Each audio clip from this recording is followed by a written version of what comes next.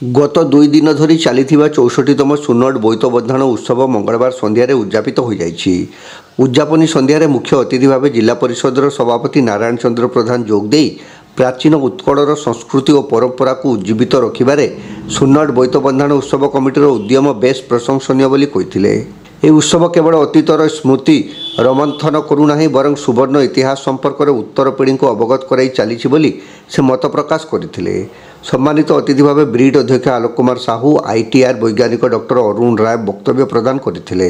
ଉତ୍ସବ କମିଟିର ସଭାପତି ଡାକ୍ତର ଶାନ୍ତନୁ ଦାସ ଏଥିରେ ସଭାପତିତ୍ୱ କରିଥିବା ବେଳେ ସାଧାରଣ ସମ୍ପାଦକ ସାଇରୁଲ ହକ୍ ବିବରଣୀ ପାଠ କରିଥିଲେ।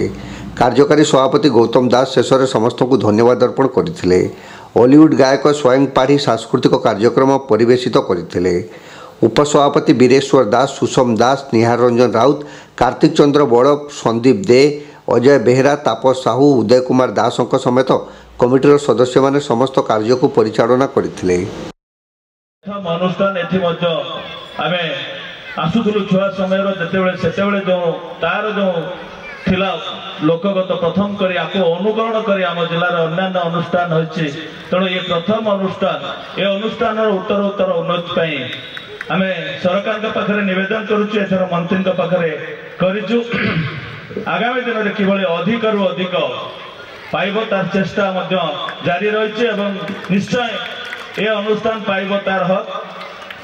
ତା ସଙ୍ଗେ ସଙ୍ଗେ ଯେଉଁ ଓଡ଼ିଶାର ସଂସ୍କୃତି କଳା ଏବଂ ନୌ ବାଣିଜ୍ୟର ଯେଉଁ ଇତିହାସକୁ ଆମେ ମନେ ପକାଇବା ତା କିଭଳି ଆଗାମୀ ଦିନରେ ତାକୁ ମନେ ପକାଇବା ସଙ୍ଗେ ସଙ୍ଗେ ଆମେ ଏ ଯେଉଁ କାର୍ତ୍ତିକ ମାସର ହବିଷ ଆମେ ସମସ୍ତେ କରିଛୁ ତାର ଉଦ୍ଯାପନୀ ଆଜି ଉତ୍ସବ ଗଲା କାଲି ପୂର୍ଣ୍ଣିମା ସରିଗଲା ଆଜି ସମସ୍ତେ ରଙ୍ଗାରଙ୍ଗ କାର୍ଯ୍ୟକ୍ରମରେ ଦେଖୁଥିବେ କିନ୍ତୁ ଏ ସାଂସ୍କୃତିକ କାର୍ଯ୍ୟକ୍ରମ ସମସ୍ତେ ବିରକ୍ତି ଭାବ ଅନୁଭବ କରୁଥିବେ ଯେଟା ସାଇରୁଲ ଭାଇ କହିଗଲେ ମୁଁ ମଧ୍ୟ ଆପଣମାନଙ୍କୁ ସେଠି ନେଉନାହିଁ ତେଣୁ ଏତିକି ପ୍ରାର୍ଥନା କରୁଛି ଭଗବାନଙ୍କ ଠାରେ ଆପଣ ସମସ୍ତେ ସୁସ୍ଥରେ ଏବଂ ମଙ୍ଗଳରେ ରୁହନ୍ତୁ ଭାଇଚାରାରେ ରୁହନ୍ତୁ ଏବଂ ତା ସଙ୍ଗେ ସଙ୍ଗେ ଯେଉଁ ଏକଚାଳିଶ ଜଣ ଭାରତୀୟ ଶ୍ରମିକ ଆଜି ଉତ୍ତରକାଶୀରେ ବାହାରିବାର ଅଛି ତେଣୁ ସମସ୍ତେ ଆପଣମାନେ ସମସ୍ତେ ପ୍ରାର୍ଥନା କରନ୍ତୁ ଆଜି ଏଠି ସେମାନେ ସମସ୍ତେ ଭଲରେ ଆସନ୍ତୁ।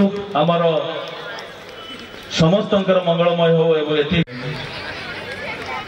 ଦୀର୍ଘ ବର୍ଷ ଧରି ମୁଁ ମଧ୍ୟ ଆଗରୁ ପଡ଼ିଆ ଭାବରେ ବଡ଼ ଥିଲା ଆମେ ସେ କୋଣରେ ଠିଆ ହେଇକି ଦେଖୁଥିଲୁ ବର୍ଷ ବର୍ଷ ଧରି। ତେଣୁ କେବଳ ଧନ୍ୟବାଦ ଦେବି ଆଉ ଥରେ କମିଟିର ସମସ୍ତ କର୍ମକର୍ତ୍ତା ଏ ଅଞ୍ଚଳବାସୀ ଯେହେତୁ କାର୍ଯ୍ୟକ୍ରମ ଜାରି ରହିବ ମେଲୋଡ଼ିର ସେଥିପାଇଁ ଆଉ ଥରେ ଆପଣ ସମସ୍ତଙ୍କୁ ଧନ୍ୟବାଦ ଦେଉଛି। ନମସ୍କାର। ପୁଣି ସେହି ନାଚ ଗୀତ ଦୁନିଆକୁ ଫେରିଯିବା। सन्माननीय